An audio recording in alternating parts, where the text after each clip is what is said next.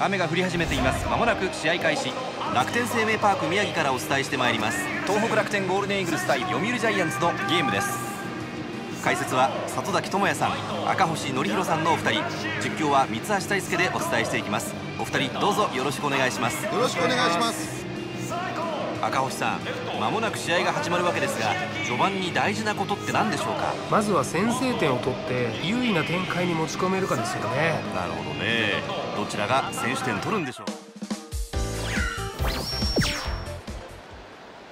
ジャイアンツここでピッチャーが変わります。一打勝ち越しの場面でマウンドに上がったのは桑原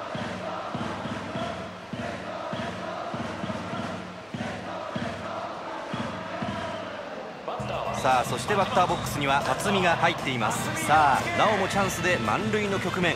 ここで勝ち越してぐっと勝利を引き寄せたいですね。なるほどそうですね。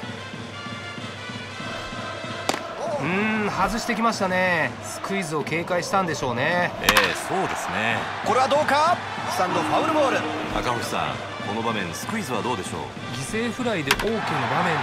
低め打った。ファースト正面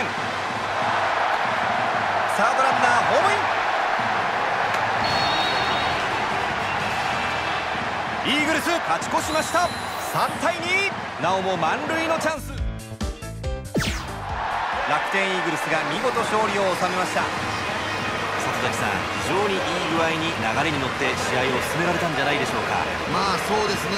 今日は理想的な展開でゲームを進めることができましたからチームとしてもいい勝利でしたね。そうですね。非常に大きな1勝となりそうです。勝ったイーグルス大きな今日は勝利になりました一方のジャイアンツですが残念ながら敗れてしまいました。ご覧のように今日のゲームはイーグルスが見事勝利を収めています。今日の解説は里崎智也さん赤星則弘さんのお二人でした。どうもありがとうございました。ありがとうございました。この辺りで楽天生命パーク宮城から失礼します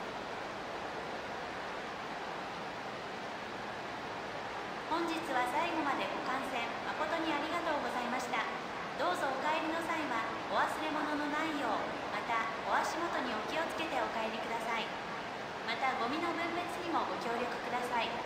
ご観戦誠にありがとうございました。